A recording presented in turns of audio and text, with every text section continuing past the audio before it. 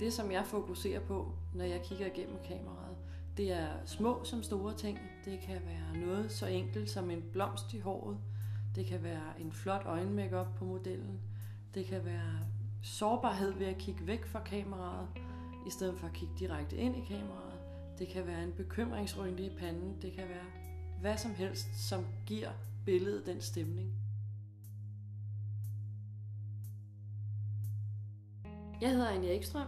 Jeg er fotograf i min egen virksomhed, Anja Ekstrøm Photography, og jeg holder til i Søborg ved København.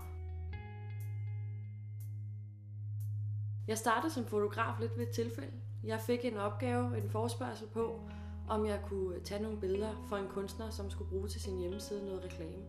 Og det sagde jeg ja til, for jeg har altid været glad for at fotografere, så det var en naturlig måde at, at, at få lavet lidt af det. Øh, og der fandt jeg faktisk ud af, at det var der, min passion lå.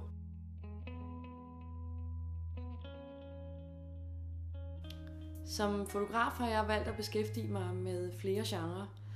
Jeg øh, synes, det er fantastisk at arbejde med fashion og beauty, fordi der får jeg lov til at, at lave det perfekte billede af den perfekte kvinde og gøre det smukke smukkere og lege med, med lys og skygger og, og redigering og retouch.